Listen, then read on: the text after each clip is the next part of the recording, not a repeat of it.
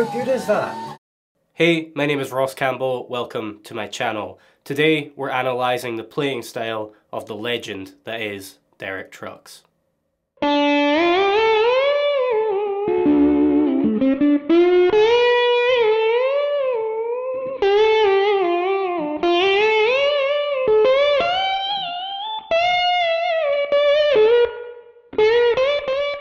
When I got my hands on this beautiful new D'Angelico Premier DC, that was the moment I decided, okay, I'm gonna make a Derek Trucks video because this instrument has inspired me to play more slide guitar, which is something that I used to practice quite a lot, but not so much in recent years. Anyway, this guitar is set up with an action that is just high enough that makes it comfortable for both slide and regular playing. For this lesson I'm going to be in open E tuning which is what Derek plays in almost exclusively. If you're in E standard all you need to do is tune your A and D strings up by a tone and your G string up by a semitone. From low to high this gives you E, B, E, G sharp, B, E, which you should recognise as the sound of an open E chord.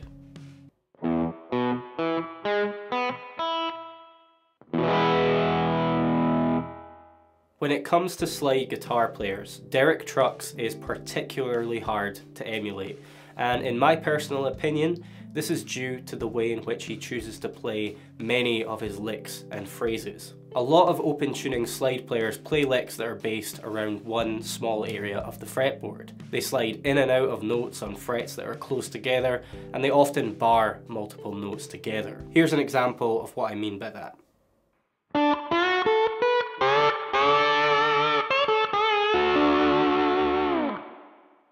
We hear licks like that so often due to the nature of these open tunings that slide players tend to use. These tunings allow you to play an entire chord on one fret.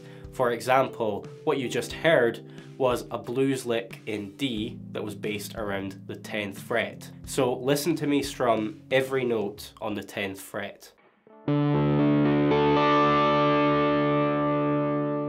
That's what you would normally recognise as a D major bar chord if you were in E standard. But the notes on fret 12 on the A and D strings and the note at fret 11 on the G string, those are all now consolidated to fret 10 because we're in open E and we've tuned those strings up. So it's really easy to create licks in that position because your main chord tones, the root, third and fifth, are all in that one area of the fretboard. They're all on the same fret. Derek will sometimes play licks like that, but going back to what I said earlier about the reason it's so hard to emulate his specific sound, what he also does that is unique to his playing style is he will take parts of licks or phrases and play them entirely on one string. Let's listen to the lick that I played earlier once again.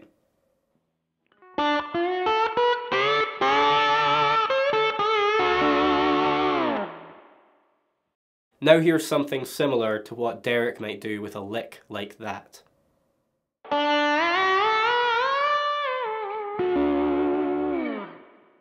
Or he might take more of a minor pentatonic approach to that same lick.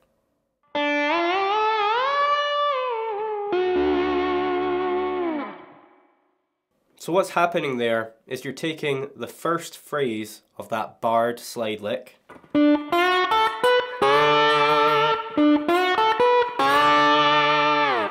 and you're consolidating all of those notes to the B string alone, like so.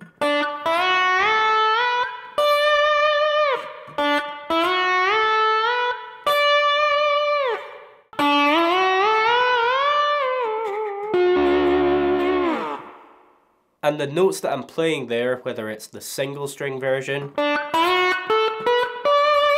or the barred version, Those notes are derived from the D major pentatonic scale. So those are D major pentatonic phrases. But you could also take more of a minor pentatonic approach to the start of that lick, which is something that Derek does often. Like a lot of blues guys, he, he also mixes pentatonic scales with the same root note. For example, D major pentatonic and D minor pentatonic. He will play both of those scales and weave between them in his solos. So here's what you know Derek's minor pentatonic interpretation of that might sound like. Hear the difference there? Here's the minor pentatonic version again. And the major pentatonic version. I personally prefer the minor pentatonic sound for this lick, so I'm going to stick with that for the first part, but you can finish the lick like this.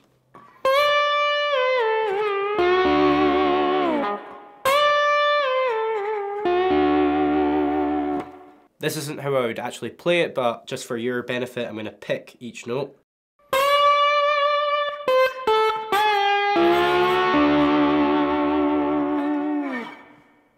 So towards the end of that lick, we are obviously implementing some of those traditional blues uh, barred slide licks. Right, we're letting multiple strings ring out there. So we are keeping some of that traditional blues slide lick uh, sound in there, but the single string run at the start of the lick gives it more of a unique vibe and prevents it from sounding too cliche.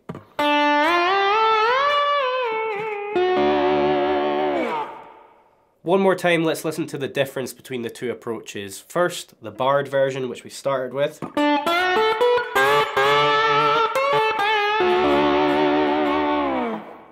And the single string version.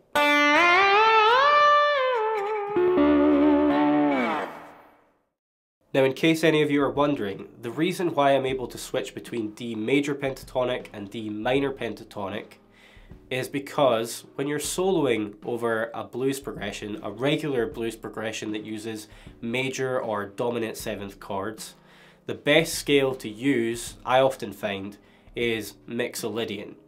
Now, Mixolydian is the fifth mode of the major scale, but another way to look at it if you don't understand modes is simply the combination of a major pentatonic scale and a minor pentatonic scale with the same root note. For example, combining D major pentatonic with the notes of D minor pentatonic.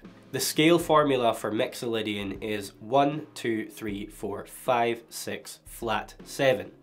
The scale formula for the major pentatonic scale is 1, 2, 3, 5, 6. And the scale formula for the minor pentatonic scale is 1 flat 3, 4, 5, flat 7. When you combine those two scales, you basically get Mixolydian, but with a major third and a flat third. This combination of pentatonic scales and their relationship with Mixolydian is something that I've talked about on my channel before, but if you really want to get to grips with it and understand how to use these scales in your improvisational playing, then check out the links in the description box below for my online guitar courses, Bulletproof Guitar Player. Now I said earlier that it's particularly hard to emulate Derek's playing style because of those single string slide runs.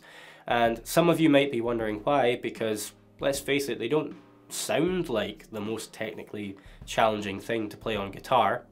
But if you've never attempted to play slide guitar before, trust me, you're to have a hard time intonating each of those notes and jumping between them perfectly. Playing these types of licks at the speed that Derek would is a real challenge, trust me on that.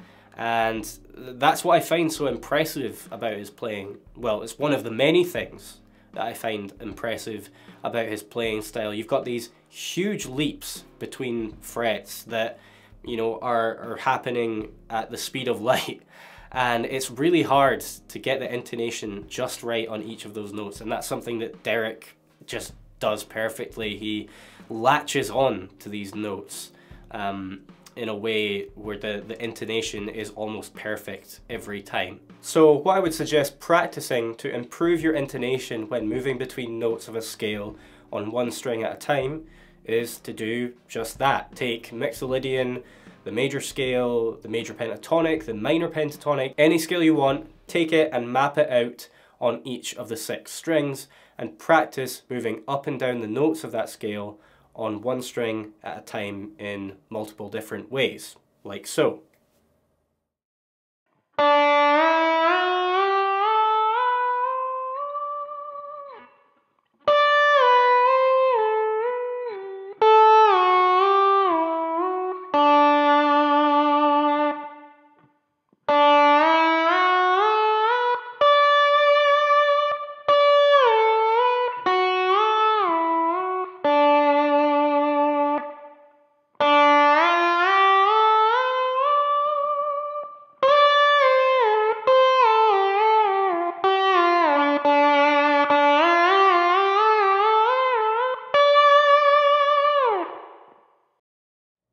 If you're interested in the tone that I got for this video, I was using two Vertex drive pedals, the Steel String and the Ultraphonix.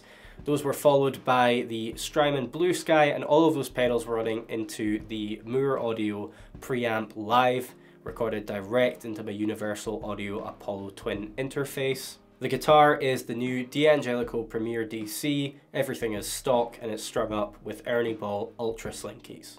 The lick I taught you earlier was one that I heard Derek play in what has to be my favourite guitar solo of all time. And yes, I do mean all time, my favourite solo played by any guitar player ever. In fact, any musician ever. So the Tedeschi Trucks Band, they do this incredible live version of The Sky is Crying, which is a famous blues song. And there's a particular video of them playing this at Red Rocks in 2012, which I have watched countless times simply because of Derek's solo. It is magnificent. I think that might be the first time I've ever used the word magnificent, but anyway, it literally gives me goosebumps every time that this solo reaches its climax. So we're going to watch some of it together because I want you guys to see the master himself using these single string slide runs in this incredible solo. And YouTube, please recognize this as fair use. I'm not trying to steal money from anyone, I'm just trying to promote one of my favorite bands, one of my favorite guitar players. Hope that works. Alright, so we're not going to take a listen to the entire solo because I don't want this video to be too long and you guys can always go and watch it later if you so wish. I'll put a link in the description box below but let's just take a listen to certain parts and um, yeah, look for any of those single string slide runs.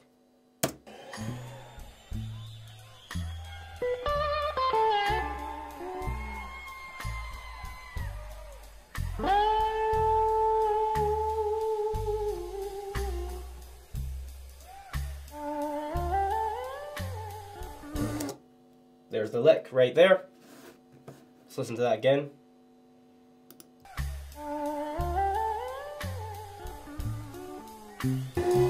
Okay, I'm going to skip it along to the bit where it really gets cooking and this is what I'm talking about when it when it comes to the climax of the solo. There's a very clear point at which the dynamics just reach a certain level where this is the bit that that makes my my hair stand up.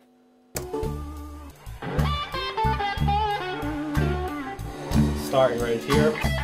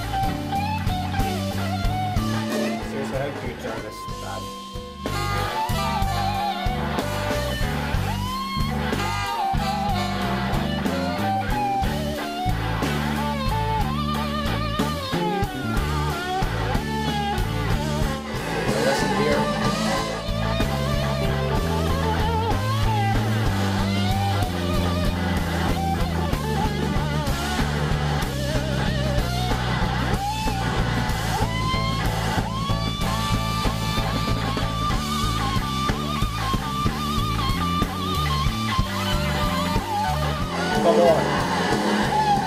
How good is that? One, one more time.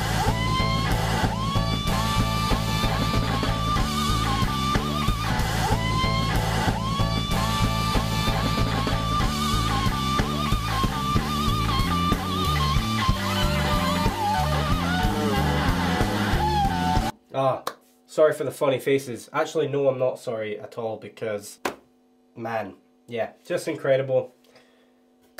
Everyone talks about, you know, how they wished they could have seen Jimi Hendrix or or Stevie Ray Vaughan or, you know, whoever, you know, in incredible uh, guitar player that may no longer be with us, but we live in the same timeline as, as Derek Trucks we have our own guitar heroes who are alive today and, and still playing shows, fortunately. So if you get the chance to go and see the, the Tedeschi Trucks band, then absolutely go and do it. That does it for today's video guys. Thank you so much for watching. I hope you enjoyed it and if you did please hit the subscribe button down below if you're not subscribed already. And if you feel like supporting the free content that I'm making for this channel, it would really mean a lot to me if you could take a few seconds out of your day to like this video and share it with your guitar playing friends on Facebook, Twitter, Reddit, Instagram. And if you like, please do post a video to Instagram of you playing the Derek Trucks lick that I taught you in this video. And if you decide to do that, if you're comfortable doing that, um, please do tag me in the post so I can see it. I'd love to see you guys try this one out. But anyway, thank you again for watching and I will see you guys in the next one.